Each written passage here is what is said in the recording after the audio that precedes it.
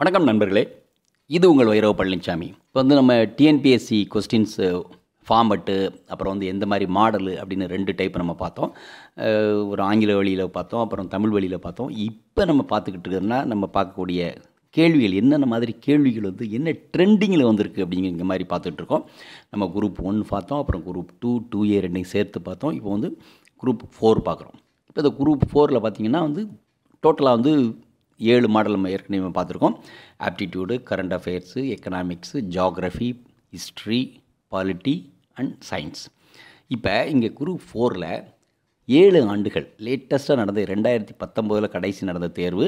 அதே மாதிரி பத்தாண்டுகள் கணக்கு பண்ணி ரெண்டாயிரத்தி பதினொன்று பேஸ் இயர் ஸோ ரெண்டாயிரத்தி பதினொன்று ரெண்டாயிரத்தி பன்னிரெண்டு பிற பதிமூணு பதினான்கு பதினாறு பதினெட்டு பத்தொன்பது அப்படின்னு ஏழு ஆண்டுகள் என்னென்ன மாதிரி கேள்விகள் எப்படி ஃபார்மில் வந்திருக்கு என்னென்ன நம்பர் இப்போ ஆப்டிடியூட்னா இப்போ ஸ்டார்ட்ஸ் வித் டென் அதாவது ரெண்டாயிரத்தி பதினொன்றில் பார்த்தீங்கன்னா பத்து கேள்விகள் அதிகப்படியான கேள்விகள் வந்து ரெண்டாயிரத்தி பத்தொம்போதில் இருபத்தேழு கேள்விகள். அப்போ இந்த கேள்விகள் வந்து என்ன ட்ரெண்டிங்கில் இருக்குது கடந்த பல ஆண்டுகளில் இப்போ நமக்கு தெரியும். குரூப் ஒன்று தவிர குரூப் ஒன்றில் இரநூறு கேள்விகள் வந்து பொது அறிவு தான். மற்ற தேர்வுகளில் வந்து எப்படி? பொது அறிவு வந்து ஒரு நூறு மதிப்பெண்கள் இன்னொரு நூறு மதிப்பெண்களுக்கு வந்து நம்ம என்ன தேர்வு அந்த அதே ஒரே தேர்வில் என்ன எழுதுவோம்? சப்ஜெக்ட் அதாவது ஆங்கிலமாக இருக்கலாம் தமிழை நம்ம செலக்ட் பண்ணி எழுதுவோம். சரிங்களா? இப்போ இது வந்து பர்சன்டேஜ் நூறு கேள்வியில் எவ்வளோ எவ்வளோ கேள்வி வந்திருக்கு அப்படின்னு நம்ம பார்க்குறோம். அதனால் இப்போ குரூப் ஃபோர் அனலிசிஸ் நம்ம என்ன பார்க்க போகிறோம்னா பைச்சார்ட் ஃபார்மில் பார்க்க போகிறோம் ஸோ இந்த ஏழு ஆண்டுகளும் நம்ம ஏழு கலரில் நம்ம பார்ப்போம். அந்த ஏழு கலரில் ஃபஸ்ட்டு நம்ம பார்க்க போகிறது வந்து ஆப்டிடியூட் சரிங்களா? மென்டல் எபிலிட்டி ஆர் ஆப்டிடியூட் அதை பார்க்குறோம். இங்கே பாருங்கள் இதில் வந்து மேக்ஸிமம் இருபத்தேழு முதல்ல பே டேபிள் பற்றி பேசையில் நம்ம பார்த்தோம். மேக்ஸிமம் இருபத்தி ஏழு கடைசி ரெண்டாயிரத்தி பத்தொன்பதில். ரொம்ப குறைவு ரெண்டாயிரத்தி பன்னிரெண்டில் வெறும் ஒன்பதே கேள்வி தான் ஆனால் ஃபஸ்ட்டு டூ இயர்ஸ்க்கு அப்புறம் அதாவது ரெண்டாயிரத்தி பதினொன்று பன்னிரெண்டுக்கு அப்புறம் பதிமூணுலேருந்து பார்த்தீங்கன்னா ஆனன் ஆவரேஜ் இருபத்தைந்து கேள்விக்கு மேலே ரெகுலராக வருது. ஸோ அதனால் இருபத்தஞ்சி கேள்வி கண்டிப்பாக வரும் அப்படின்னு நம்ம நம்பலாம். அடுத்தது கரண்ட் அஃபேர்ஸ் நடப்பு நிகழ்வுகள். நடப்பு நிகழ்வுகளும் பார்த்தீங்கன்னா எல்லாமே டபுள் டிஜிட் தான். ஸோ மினிமமாக வந்து பதினோரு கேள்விகள் கேட்டிருக்காங்க. அந்த பதினோரு கேள்விகள் இப்போ ரெண்டாயிரத்தி பத்தொம்போதில் இருக்குது மீதி ஒவ்வொரு ஆண்டு பார்த்தீங்கன்னா மேக்ஸிமம் இப்போ இருபத்தி ரெண்டு கேள்வி வந்து ரெண்டாயிரத்தி பதினெட்டில் வந்திருக்குது. சரி சரியா? ஸோ அந்த ட்ரெண்டிங்னு அப்படி பார்த்தீங்கன்னா பதினொன்று அப்புறம் பதிமூணு மேக்ஸிமம் இருபத்தி ரெண்டு இட்ஸ் லைக் டபுள் பதினொன்று அப்படி இருபத்தி ரெண்டு டபுளாக இருக்குது. சரிங்களா? ஸோ இங்கே வந்து நம்ம சப்ஜெக்ட்டு கரண்ட் அஃபேர்ஸ் நம்ம பார்க்குறோம். ஒவ்வொரு சப்ஜெக்டில் நிறைய வேரியேஷன் பார்க்க முடியும். அதே மாதிரி கரண்ட் அஃபேர்ஸ்லேயும் ஹண்ட்ரட் பர்சன்ட் வேரியேஷன் பதினொன்று இருபத்தி ரெண்டு ஆனால் அதுக்கப்புறம் பார்த்தீங்கன்னா ஒரு ட்ரெண்டிங்கில் பார்த்தீங்கன்னா ஒரு ஆவரேஜாக பதிமூணு பதினாலு மேலே வருது. பட் வி கேன் டேக் ஒரு பதினஞ்சு கேள்விகள் வந்து நமக்கு வந்து கரண்ட் அஃபேர்ஸில் வரும் அப்படின்னு நம்ம நம்பலாம். சரிங்களா? அடுத்தது பொருளாதாரம். பொருளாதாரம் எல்லா தேர்வும் சிங்கிள் டிஜிட் ஒரே ஒரு தேர்வு ஒரே ஒரு ஆண்டு அதாவது ரெண்டாயிரத்தி பதினெட்டு மட்டும் பதினோரு கேள்விகள். மீதி எல்லாமே ஐந்து மினிமம் ஐந்து கேள்விகள். ஸோ ஐந்து கேள்விகள் வந்து எங்கே வந்திருக்குன்னா ரெண்டாயிரத்தி பத்தொம்போதில் வந்திருக்கு.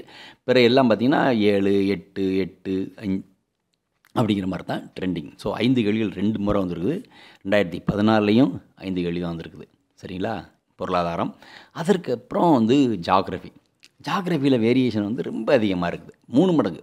ஸோ மினிமம் பார்த்திங்கன்னா ஐந்து கேள்விகள் கேட்கப்பட்டிருக்குது அப்படின்னா ரெண்டாயிரத்தி பதினெட்டில் அதே மாதிரி பதினைந்து கேள்விகள் ரெண்டாயிரத்தி பன்னிரெண்டில். அப்புறம் இந்த மொத்த ஏழு ஆண்டுகளில் இரண்டே இரண்டு ஆண்டு மட்டும்தான் இது வந்து டபுள் டிஜிட் பதினாலு பதினஞ்சு மற்ற ஆண்டுகள். அதே மாதிரி இன்ஃபேக்ட் இன்னொரு ஆண்டு பத்து. சரிங்களா? டபுள் டிஜிட் ஜஸ்ட் டச்சிங் பத்து.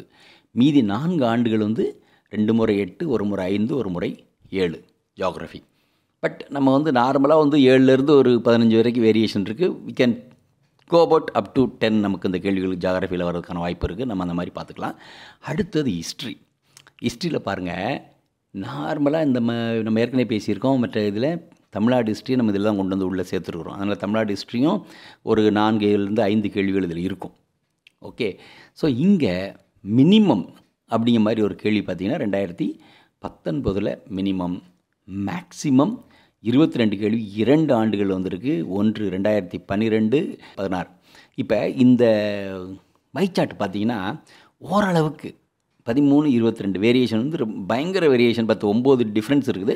பட் ஆன் அன் ஆவரேஜ் பதினஞ்சு கேள்விகள் கண்டிப்பாக வரலாற்றில் வருவதற்கான வாய்ப்புகள் நமக்கு இருக்குது. இதுதான் ஸ்டாண்டர்ட் அப்புறம் வந்து பாலிட்டி அரசியல் அரசியல் அறிவு அல்லது நமது சிவிக்ஸ் நம்மளுடைய குடிமைகள் அப்படி வச்சுக்கிட்டாலும் சரி இந்த கடந்த ஏழு ஆண்டுகளில் ஒரே ஒரு ஆண்டு பாருங்கள் ரொம்ப ரொம்ப ரொம்ப அதிகம். அது ரெண்டாயிரத்தி பத்தொன்பதில். அதான் அதிசயம். பத்தொம்போதில் அவ்வளோ கேள்விகள் பத்தொம்பது கேள்வியில் அதே மாதிரி பார்த்தீங்கன்னா ரெண்டாயிரத்தி பன்னிரெண்டில் வெறும் ஐந்து ஐந்து கேள்வி ரெண்டாயிரத்தி பன்னிரெண்டில். அப்போ இவ்வளோ வேரியேஷன் இருக்குது நாலு மடங்கு நியர்லி அஞ்சு ஆறு ஒம்பது ஏழு பத்து பதினாலு பத்தொம்போது. ஸோ இங்கே ஒரு டீவியேஷன் ரொம்ப ரொம்ப வேரியேஷன் ஸோ அஞ்சு மினிமம் மேக்ஸிமம் பத்தொம்போது.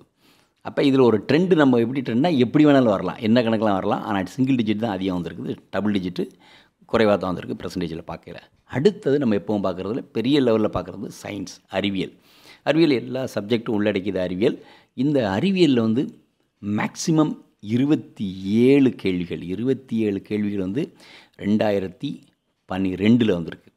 மினிமம் அப்படின்னு பார்த்தீங்கன்னா பதினாறு கேள்விகள் ரெண்டு வருஷம் இல்லை மூணு வருஷம்.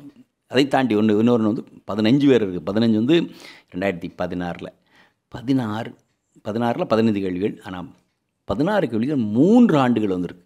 மூன்று ஆண்டுகள் ரெண்டாயிரத்தி பதினெட்டில் வந்திருக்குது பதினொன்றில் வந்திருக்குது. அதே மாதிரி ரெண்டாயிரத்தி பதினாலே வந்திருக்குது ஸோ இது எல்லாமே பார்த்திங்கன்னா ஒரு ஆனன் ஆவரேஜ் பதினஞ்சுக்கு மேலே கண்டிப்பாக வந்து சயின்ஸில் வரும் அப்படின்னு நம்ம நம்பலாம்.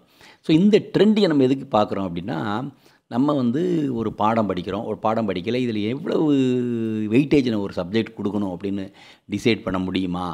எந்த சப்ஜெக்ட்டுக்கு மட்டுமே டிசைட் பண்ணலாம் அப்படின்னா நீங்கள் வந்து நூற்றுக்கு நூறு ஆப்டிடியூடு டிசைட் பண்ணலாம் அது இருபத்தஞ்சி சதவீதம் கண்டிப்பாக வரும். ஆனால் மற்ற பாடங்கள் அதுக்கு அடுத்து அதிகப்படியான கேள்விகள் வருது ரெண்டே ரெண்டு பாடம். ஒன்று ஒன்று வந்து வரலாறு ஹிஸ்ட்ரி இன்னொன்று வந்து அறிவியல் சயின்ஸ் இந்த ரெண்டும். அப்புறம் கரண்ட் அஃபேர்ஸ் அதே மாதிரி கரண்ட் அஃபேர்ஸ் இன்ஃபேக்ட் பார்த்தீங்கன்னா கரண்ட் அஃபேர்ஸ் சம்டைம் வந்து டாப்பில் இருக்குது. சரிங்களா? ஸோ இந்த நாலு சப்ஜெக்ட்டும் சேர்ந்து அறுபது மார்க்கும் மீதி அறுபது அறுபத்தஞ்சு கிட்ட வந்துடும் மீதி மூணு சப்ஜெக்ட் வந்து மீதி முப்பத்தஞ்சு பர்சன்ட் வரும். அதனால் என்ன பாடத்தில் என்னென்ன கேள்விகள் எத்தனை எத்தனை கேள்விகள் இந்த கடந்த ஏழு ஆண்டுகள் வந்திருக்குங்க இந்த ட்ரெண்டை நம்ம பார்த்துட்டோம்னா நம்ம படிக்கையில் ஒவ்வொரு கேள்வியையும் ஒவ்வொரு பாடத்தையும் நம்ம படிக்கிற ஒவ்வொரு நேரத்துலையும் ஸோ இதில் கேள்விகள் இப்படி வர்றதுக்கு வாய்ப்பு இருக்குது அப்படிங்கிற ஒரு எண்ணத்தோடு படித்தோம்னா நமக்கு வந்து தேர்வில் அதிக மதிப்பெண்கள் பெறுவதற்கான வாய்ப்புகள் அதிகம். அதே மாதிரி மெமரி ரிட்டென்ஷன் ரீகாலிங் எல்லாமே இந்த சிந்தசைஸ் கரெக்டாக ஓடிக்கிட்டே இருக்கும். ஸோ அதுக்காகத்தான் இந்த நம்ம அனலைசிஸ் பண்ணியிருக்கோம்.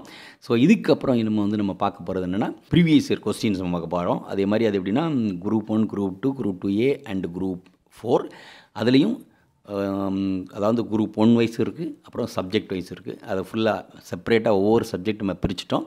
அதை நம்ம பார்க்க போகிறோம் அதை வந்து நம்ம வந்து வீடியோ ஃபார்மில் நம்ம வந்து போடுவோம். முதல்ல ஆங்கில வழி கல்விகள் போடுவோம். அதுக்கப்புறம் நான் வந்து தமிழ் வழி கல்விகளும் நம்ம போடுவோம். சரிங்களா? நன்றி. இந்த வீடியோ உங்களுக்கு பிடிச்சிருந்தா லைக் பண்ணுங்க ஷேர் பண்ணுங்க சப்ஸ்கிரைப் பண்ணுங்க கமெண்ட் பண்ணுங்க பெல் ஐக்கன் ப்ரெஸ் பண்ண மறந்து போயிடாதீங்க. அப்பதான் நாங்கள் போஸ்ட் பண்ணுற வீடியோவோட நோட்டிஃபிகேஷன் உங்களுக்கு வரும்.